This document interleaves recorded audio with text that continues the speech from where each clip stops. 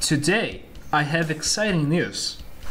I just updated Blen2MOT. Now it is Blen2MOT 2.0. And now I have very exciting features to demonstrate. Firstly, let's import our character.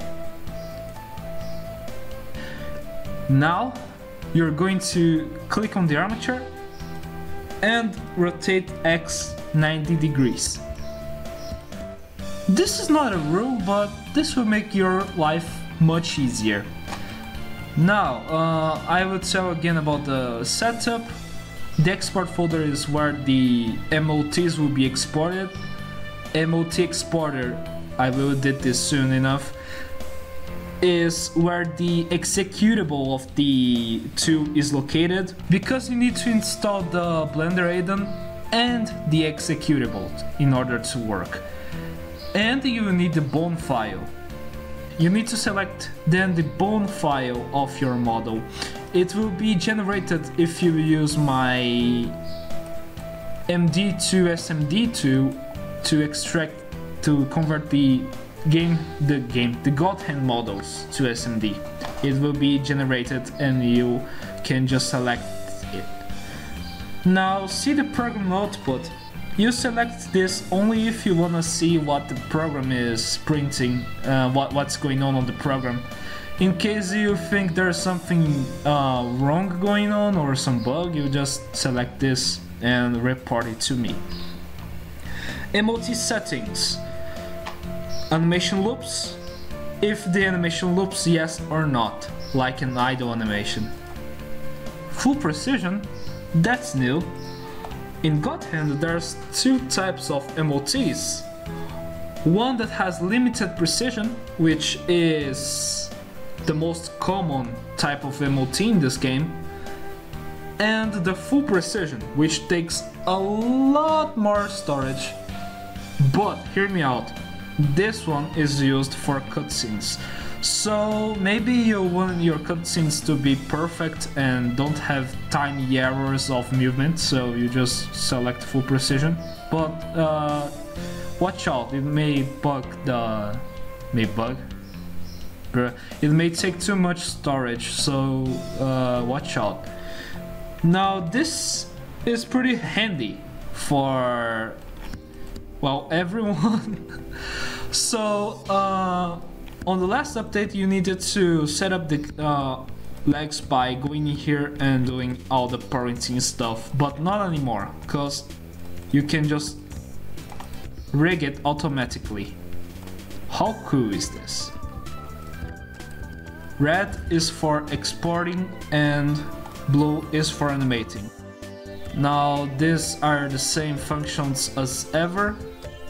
If you have uh, keyframes you can just go in here and like if you want to only delete the X location or Y location or if you want to delete everything of a transform channel well this is handy in case you wanna clean up your curves pretty handy it's pretty important to clean up your animation before exporting to God Hand because God Hand uses pretty much uh, limited amount of data. Clean up curves. If you're using Blender, uh, later version of Blender than 3.6, you might have problems with this because on Blender 3.6 you just need to go in here and enable the simplify curves add-on.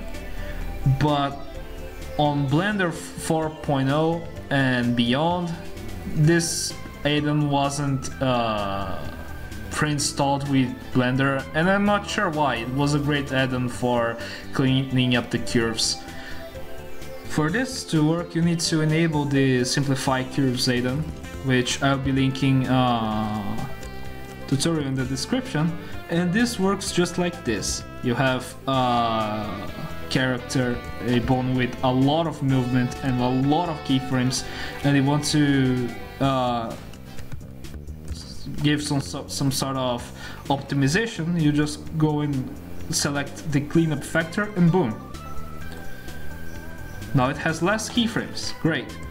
Uh, there's also the cleanup factor uh, the more, the higher it is, the higher it will clean up the curves, but the more imprecise it will be.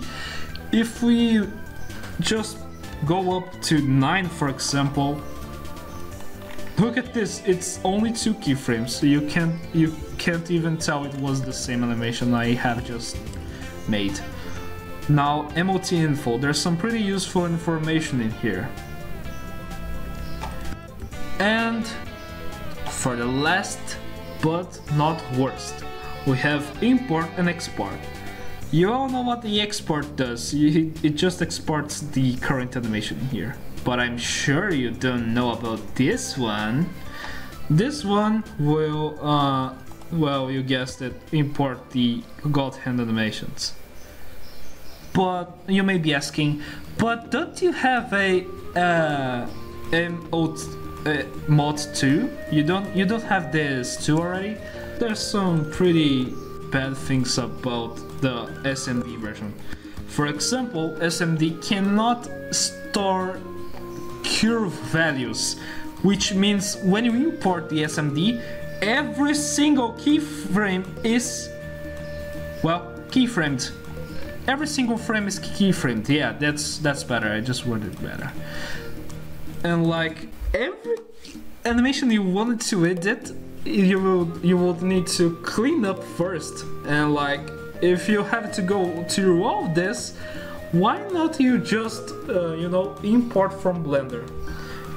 Well, at first I thought this wasn't possible, but then I just made Blen2MOT somehow, and then I well, I thought, yeah, I guess I'm ready to try importing a whole MOT.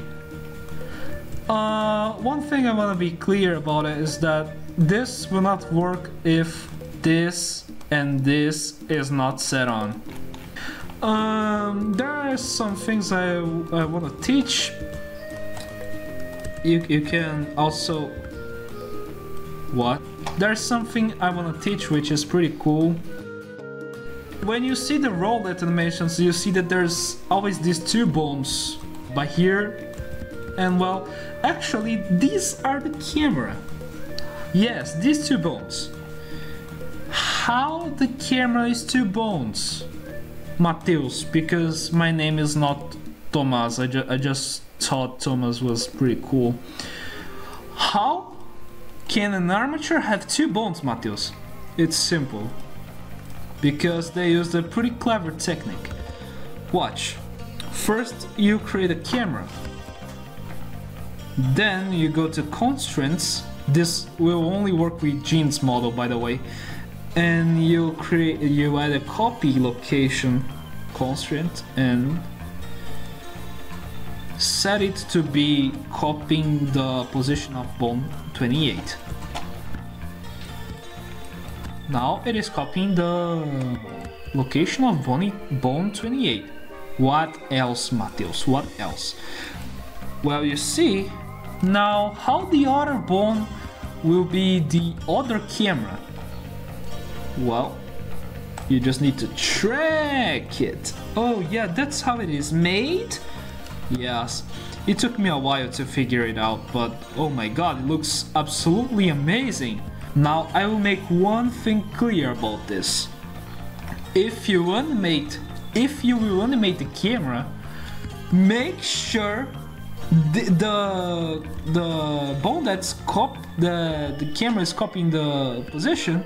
Make sure this fucking thing has this property here keyframe to at least I don't know 50. Why Mateus? Why uh, to to 50? to 50, not 15. It's 50, I said 50.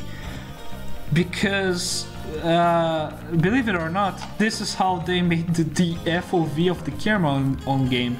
It's controlled, it's controlled by the Y rotation, somehow. So if you will be animating the camera, make sure to make this at least 50 or something. Well, that's all for today. I don't have anything more to tell or show except that uh, the root bone is what controls the whole movement of the character so if you just delete it it will just move in place and it's pretty funny. And I hope you liked the video. I did not take uh, donations or anything because I do this for fun. You see, uh, the God Hand fandom or modding community, I'm not sure how to phrase this, needs some love too. And I'm giving out the love I can I can give to God Hand. And no, I'm not being paid for this. So please like and subscribe. It will, it will, it will give me a lot more motivation to keep doing these things. And one last thing. Yes, I am doing the Blend 2MD. I am doing it. It's just, it's that life, you know. It's life. It's things of life. Uh, I can't control that kind of stuff. Things happen in life I can't control it. I can't uh, say what will happen in, in life on my computer. It's, it just happens. But I am working on it. I am absolutely not sure when I will finish it, but I'm working on it. And uh, one last time, if you like my content, please subscribe and like and maybe share to somebody who loves God Hand. So I don't know, maybe he can create some pretty cool, pretty damn ass kicking mods for the game.